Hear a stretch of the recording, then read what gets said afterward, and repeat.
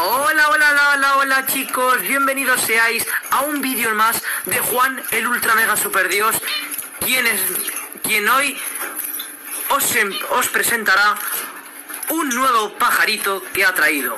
Como podéis ver, es el pajarito que está ahí al fondo en el suelo. Es una Isabelita de Japón, aunque no lo parezca, realmente es una Isabelita de Japón, solo que es con una mutación mucho más clarita.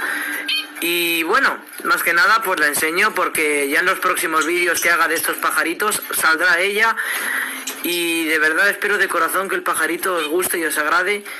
Porque si os soy sincero, jamás en mi vida había visto una Isabelita con este color y nada más verla, lo primero que hice fue comprarla. Así que espero que os guste, guapos. Adiosín, callosin.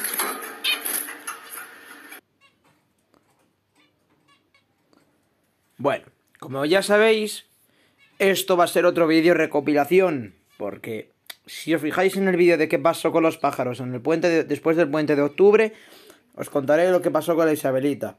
Claramente, desgraciadamente, dicho pajarito murió, desgraciadamente. Pero hoy os traigo un vídeo. Quiero avisar primero de que no va a ser muy largo, ¿vale? Debido a que como estoy un poco liado con estudio, no, no debo liarme mucho, al menos estos días. Pero bueno, eh, luego retomaré eh, mejor el canal y ya está. Voy a hacer un- una breve explicación sobre cómo cuidar una Isabelita de Japón, así que comenzamos. Vale, para empezar tenemos claramente como alimentación la típica mixtura que es de periquitos. Sirve también perfectamente para eh, cualquier pajarito exótico como es eh, la Isabelita de Japón. Eh, en este caso, ¿no? Que es el, el vídeo que estoy haciendo sobre la Isabelita de Japón, sobre cómo cuidarlo. Esta mixtura es ideal, no solo sirve para periquitos, sirve para pájaros exóticos. Isabelita de Japón, diamantes mandarines, diamantes de gul, etc.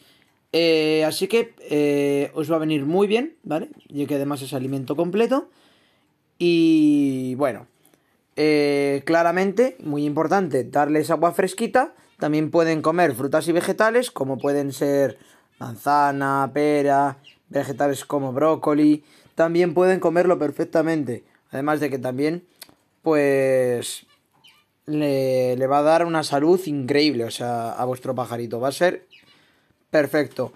Eh, Cabe destacar que en el vídeo habréis visto una mutación rarísima, ¿verdad? Seguramente poca gente la haya visto, pero voy a enseñaros la mutación que es clásica de la Isabelita. Vamos a acceder a otra imagen. Vale, fijaros que la típica Isabelita de Japón que se suele ver es casualmente esta, ¿no? Esta es la típica mutación, la que casi siempre vamos a ver en tiendas. Aunque, eh, bueno, hay varias mutaciones diferentes, como la que hemos visto en mi vídeo, eh, que bueno, estará también es ahí en, en mi canal de YouTube, eh, la de Isabelita de Japón. eh, y también voy a enseñaros otros tipos de mutaciones.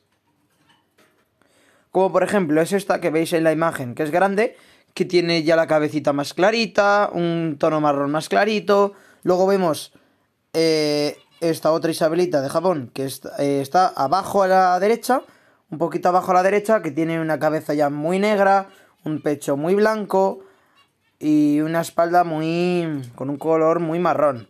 Luego vemos también eh, que, eh, otras eh, Isabelitas, otras mutaciones, abajo del todo, a la, a la derecha y a la izquierda, que tienen como una especie de... como si fueran escamas, ¿no? Pero sin ser escamas, pero con unos colores grisáceo y marrones que son preciosos.